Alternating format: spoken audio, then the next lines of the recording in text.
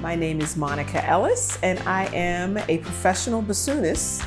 Primarily, I play with the chamber music ensemble Imani Winds.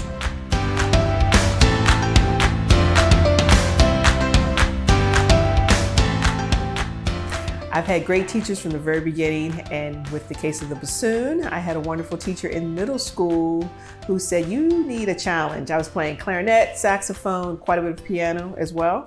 And uh, he said, Why don't we give this a try? I probably would still be in the industry, but I think now I might be in management, in arts management in some capacity. I've always had the knack for organizing and uh, as well as just hospitality in a way.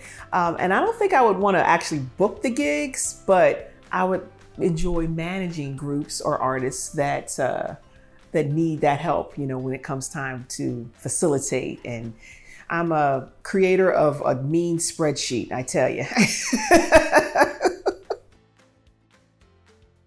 Pretty serious mishap happened when I was probably in the sixth grade, I think, and I was playing a, uh, in a recital for my clarinet, um, my teacher's clarinet studio.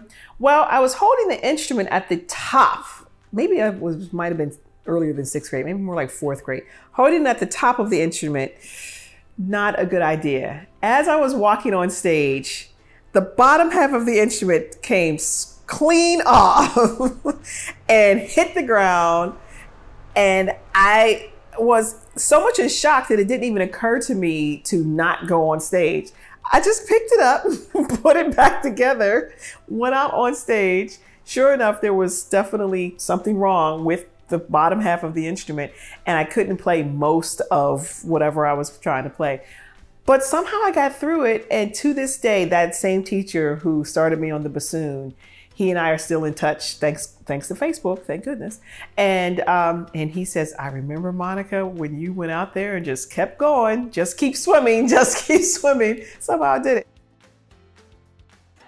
I'm going to take it way back to one of the early musicals that I saw when I first, I hadn't even moved to New York, but I visited New York.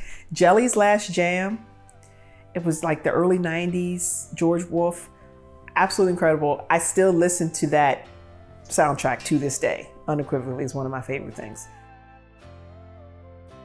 I would have loved to have dinner with Prince.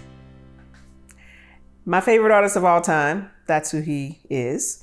Uh, and so if there would have been an opportunity to meet him and sit down and have pancakes or something with him, a la Dave Chappelle, uh, and when he uh, when he mimics him, that would have been the best thing in the world. So.